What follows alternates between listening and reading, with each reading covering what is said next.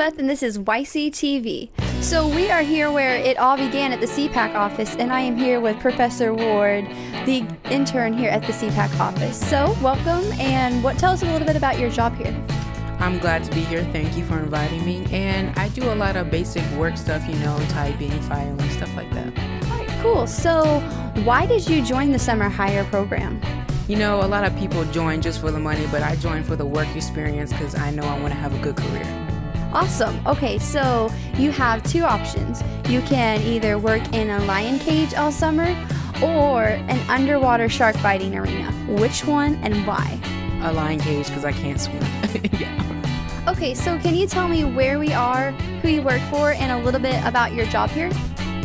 Uh, this is the Teen Center, and I work for Miss Anya and Mr. Jared, and I help out with the activities they do at the Teen Center.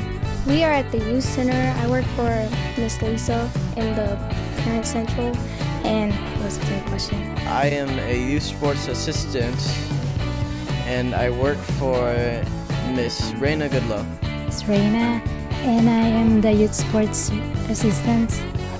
Okay, so can you tell me where we are, who you work for, and a little bit about your job? All right, cool. So, why did you join Summer Hire?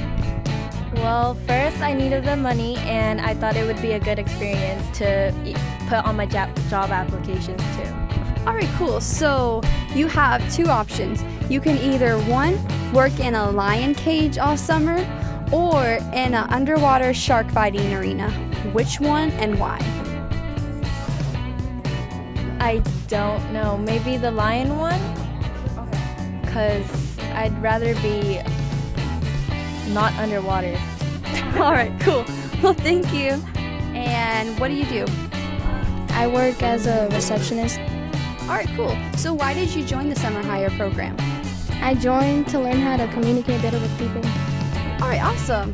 So you have two options.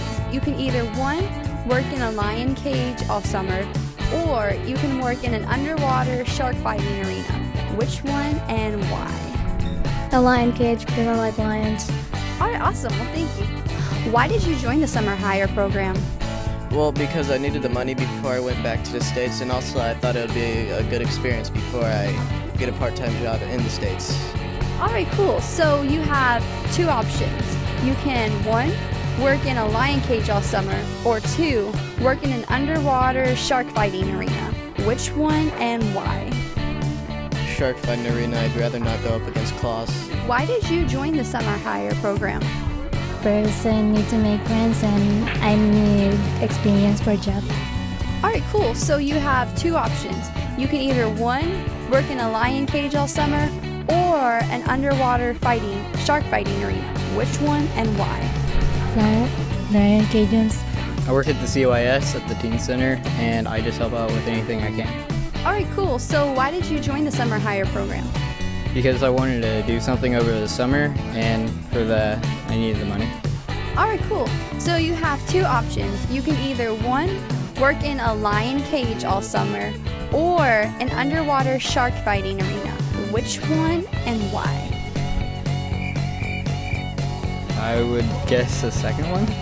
All right, cool. Thank you.